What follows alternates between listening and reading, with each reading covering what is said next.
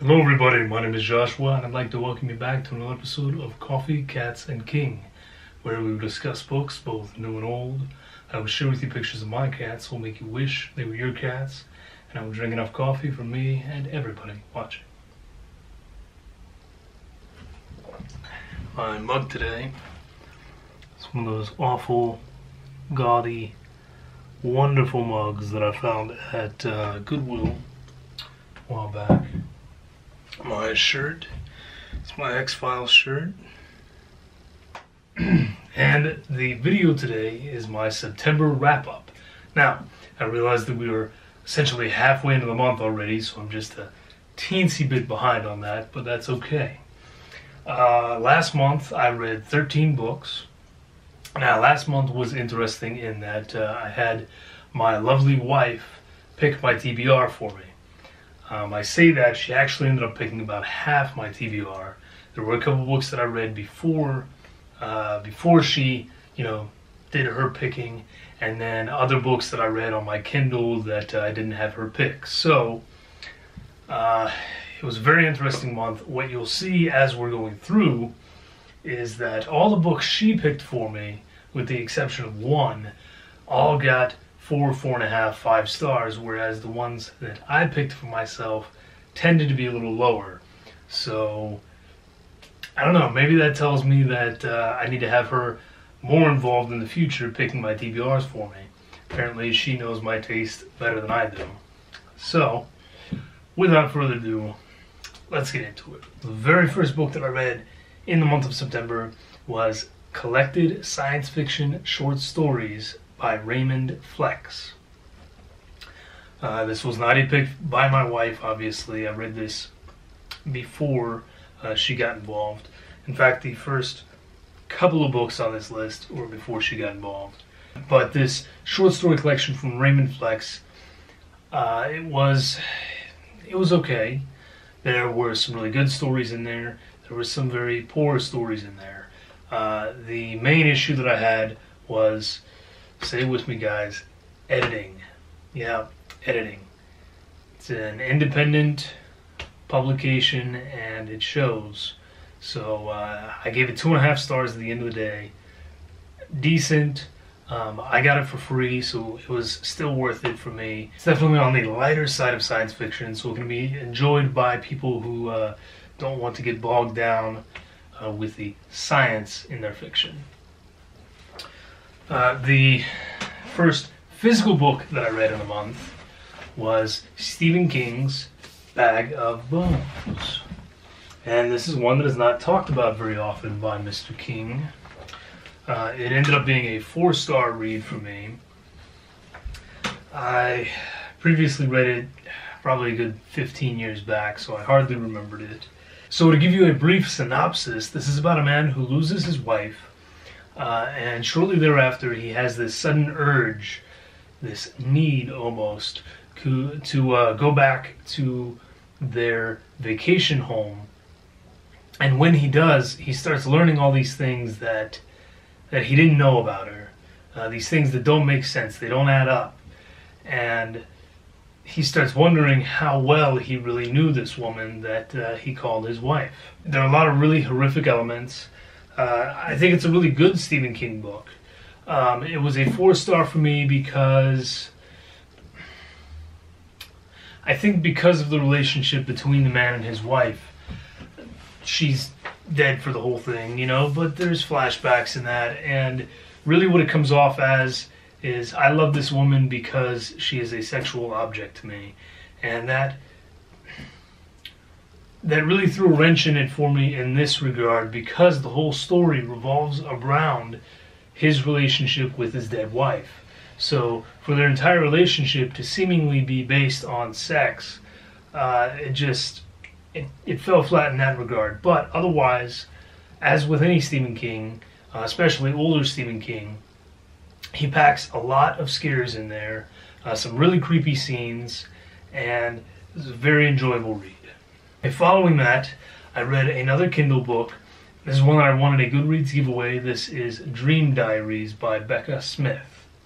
I was very excited about this one. It's about a girl who has dreams of murders Uh, and shortly after dreaming this, the murders occur. Uh, well, one morning she wakes up from this horrible dream where she was in the killer's mind as he killed her neighbor. And surely enough, her neighbor is dead.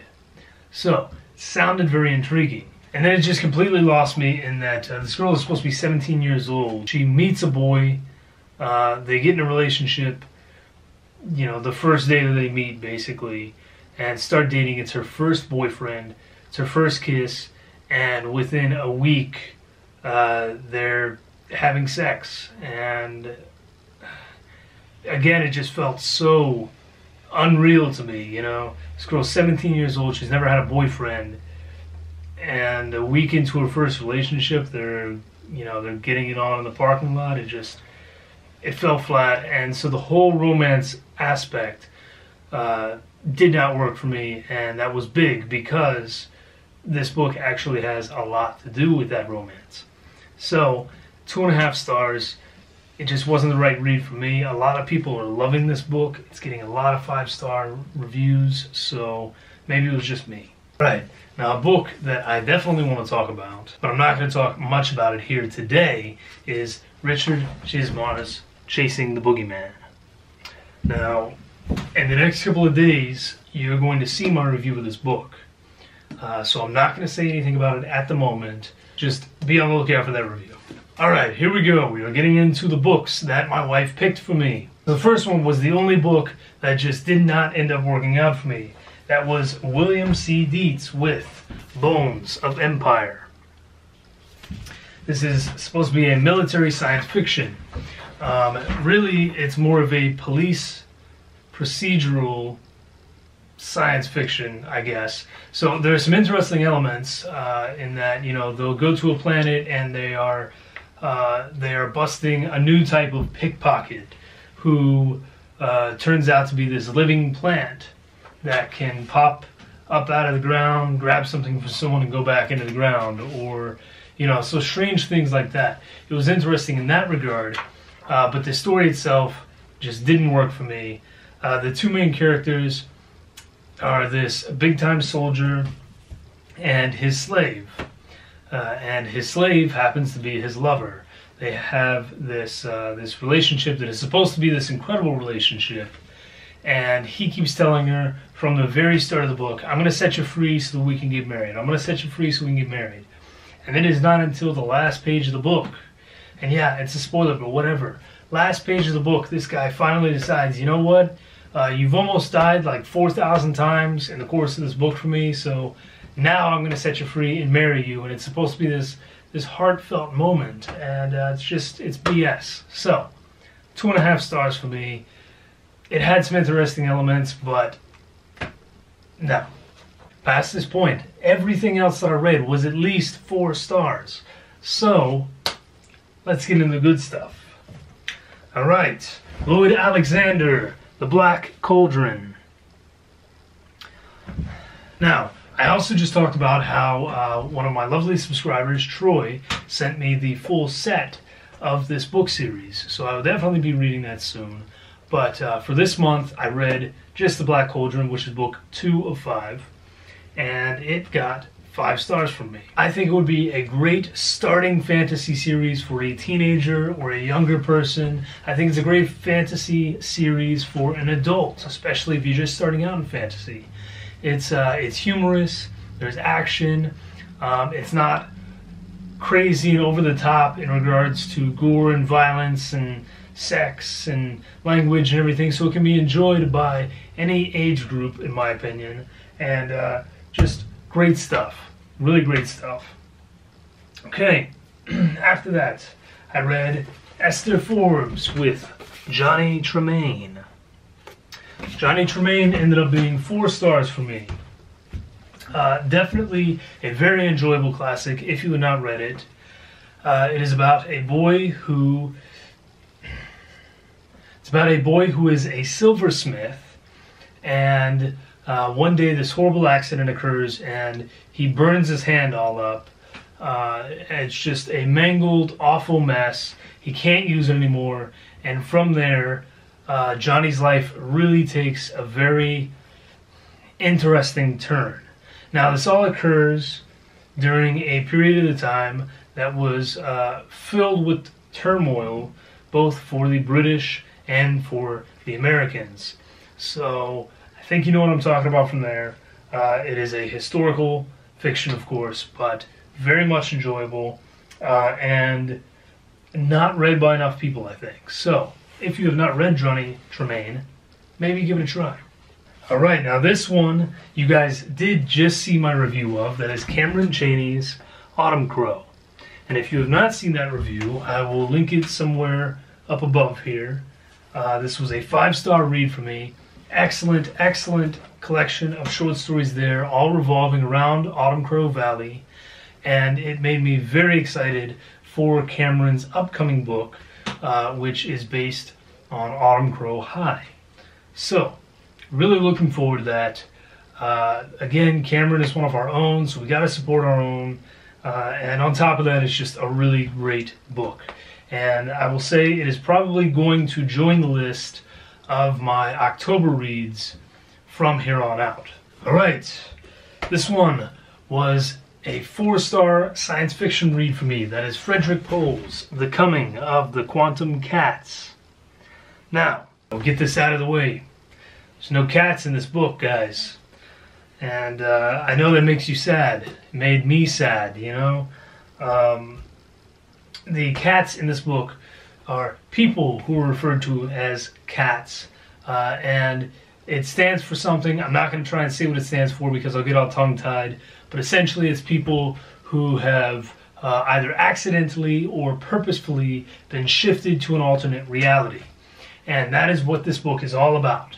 So, I said the first science fiction that I had on this list was uh, kind of soft science fiction.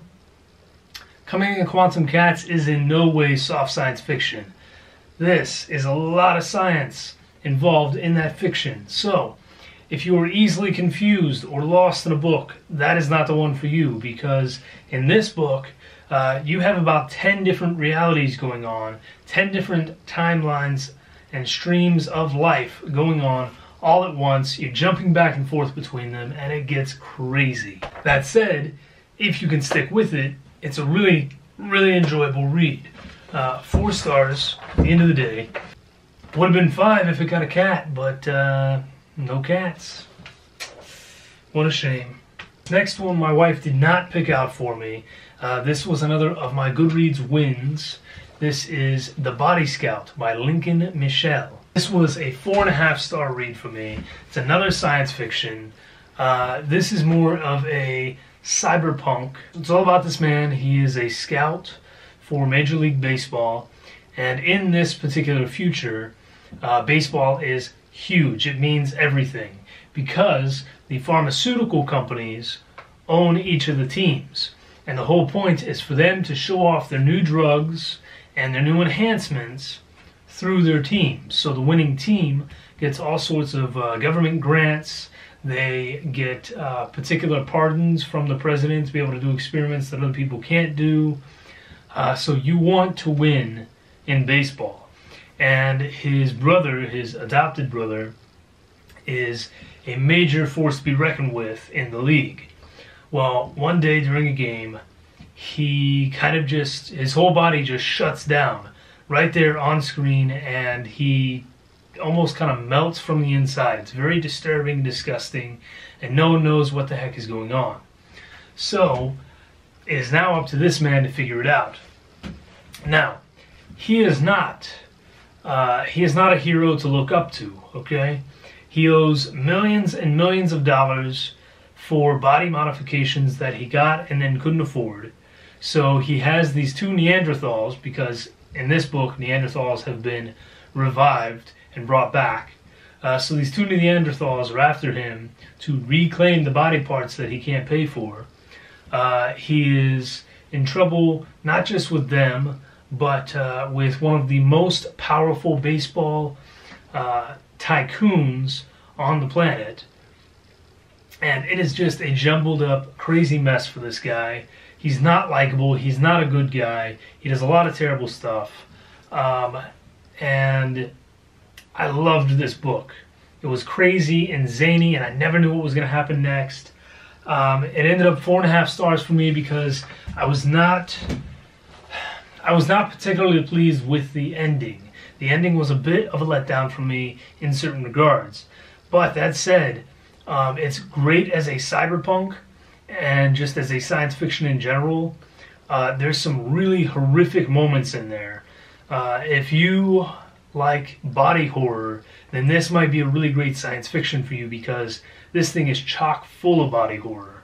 So, four and a half stars. It was awesome, and I really hope to read something else by Lincoln uh, if he has anything else out. If he doesn't, I will definitely be looking for it in the future. Three more books to go through, two of which my wife picked. First being Orson Scott Card's Lost Boys. And I've never read this. I was really looking forward to reading this.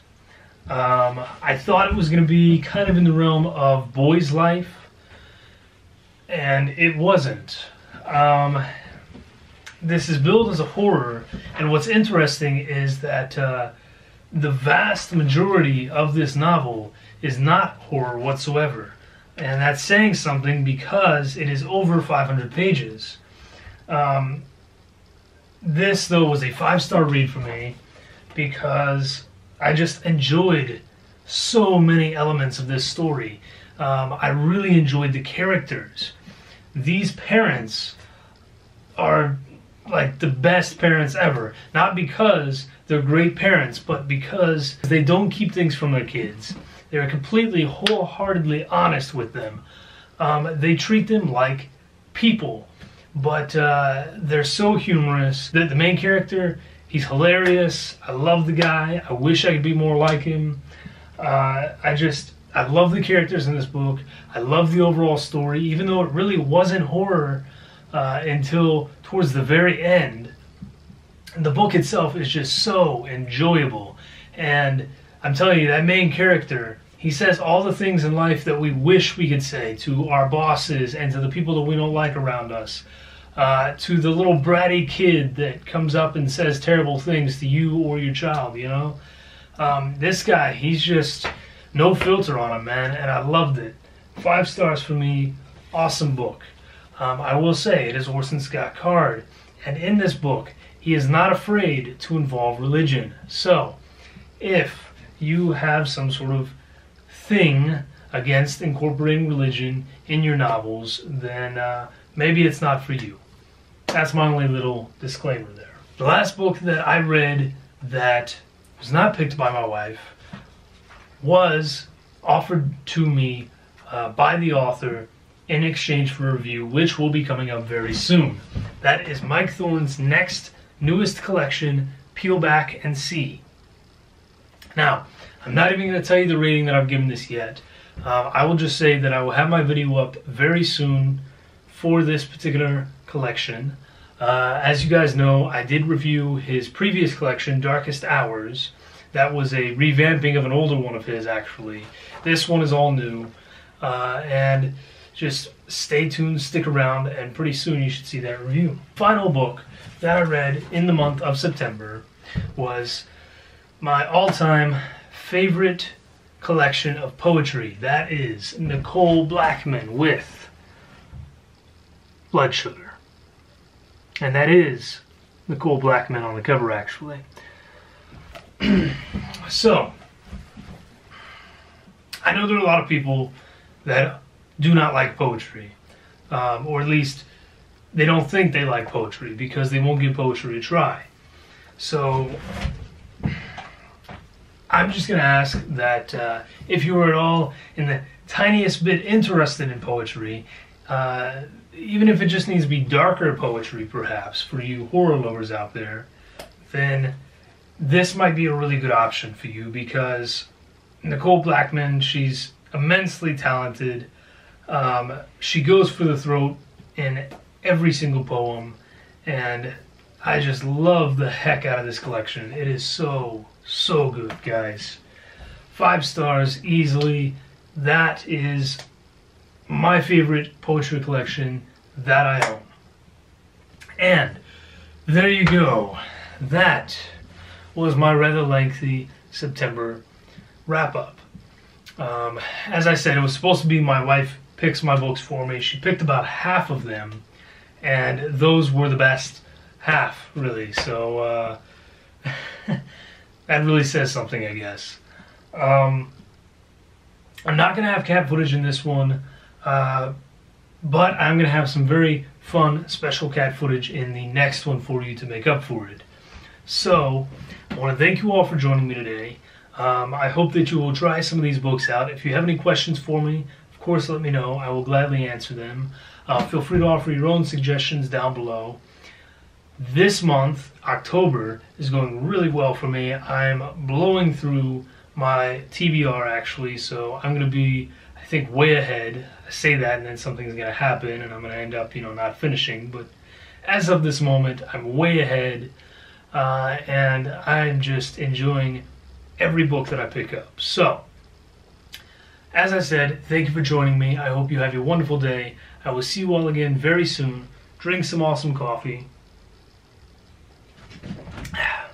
Cheers.